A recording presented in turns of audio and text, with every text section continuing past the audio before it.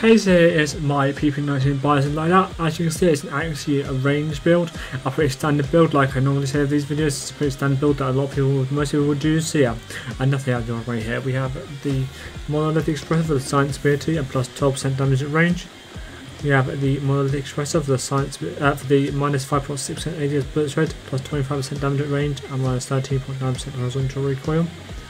We have the no stock for the minus 15% ADS time, plus 5% movement speed, and plus 7% ADS movement speed. With the OWC attack laser, minus 8% ADS time, minus 9.2% ADS bullet spread.